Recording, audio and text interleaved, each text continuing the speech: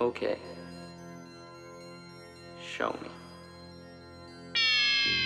Ladies and gentlemen, welcome back to the DutchRC channel. Thank you very much for tuning in to a video about multi-bind, which is a, a feature of TBS, Team Black Sheep, Crossfire. So this here is a Crossfire remote, uh, the Tango 2 this is, but multi-bind is a feature of all, at least all of the recent Crossfire transmitters.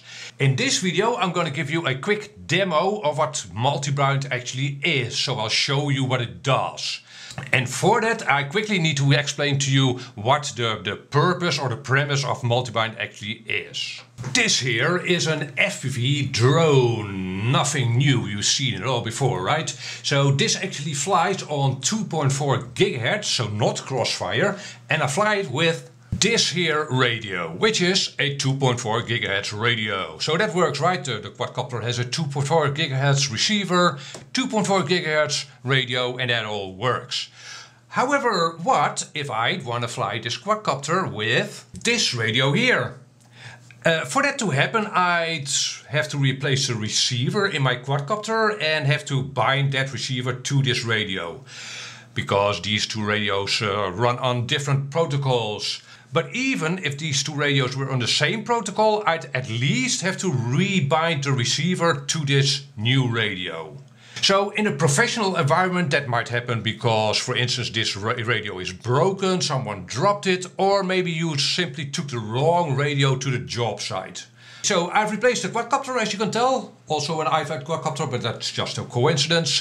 What if I told you that I can fly this quadcopter with this here radio but also with this here radio.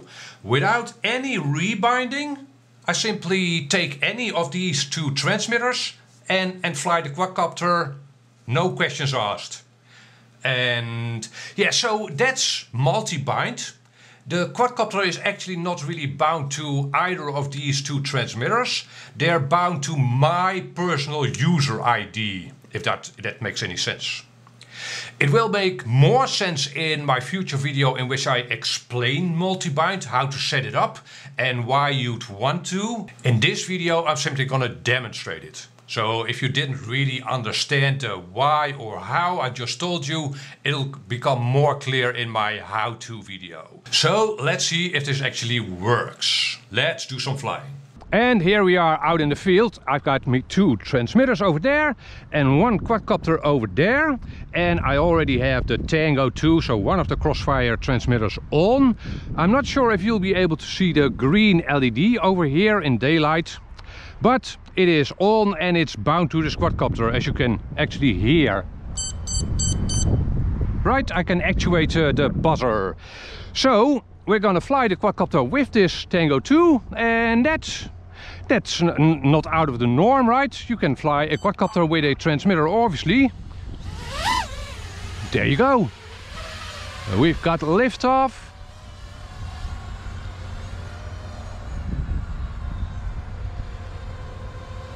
And the quadcopter actually flies, no uh, problem whatsoever. So far, nothing out of the ordinary. I'm flying a quadcopter with a radio. You've seen it all before. Okay, so what I'll do now is I'll land the quadcopter.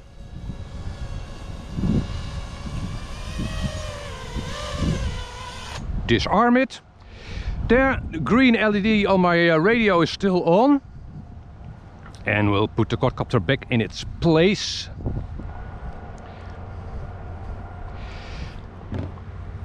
Now, what I'll do next is uh, for the purpose of this uh, demonstration. You should not be doing this at home.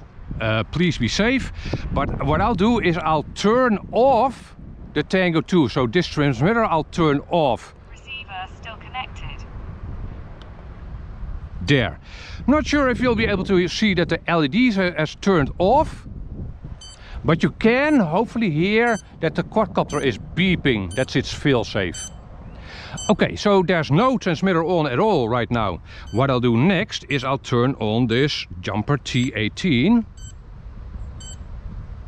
Welcome to OpenTX. Acro mode.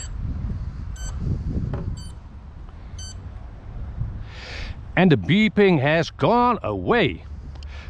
The green LED, will you be able to see that? I'm not sure. On the, my module is now uh, green. Or the green LED is now green. Yeah, the, the LED is now green, meaning that we have a connection.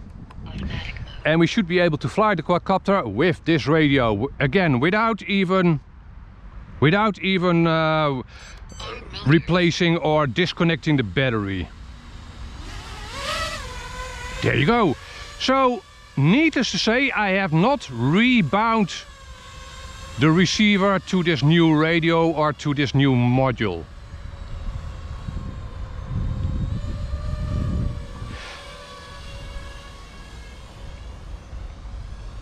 So, yeah, no problem. Again, I am flying the quadcopter as if nothing happened, but with another radio, without powering down the quadcopter, without uh, replacing its receiver, without rebinding the receiver.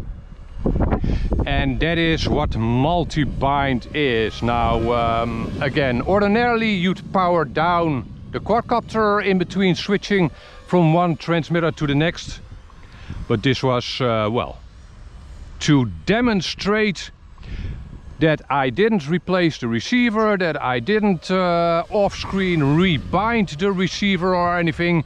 No trickery. I am now flying the quadcopter with that other radio. And uh, yeah, perfect uh, fail-safe or, or fail-over backup scenario. I've accidentally dropped my Tango on the floor. It doesn't uh, work anymore. This way I'm still in the air. Hi Chickaday. There you go. And again, um, maybe the, the sun has gone away a little. Uh, the green LED on my uh, module is still on, so it's still connected to the quadcopter. And I can again actuate its beeper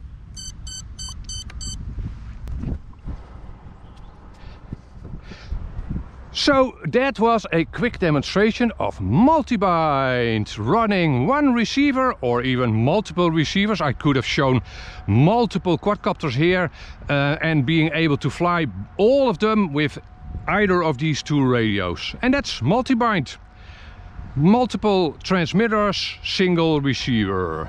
And uh, yeah, like I mentioned, I will be doing more videos on this subject, uh, mostly a how-to. If you are left with questions, hit me up a comment down below. Catch you on the next video. Bye bye.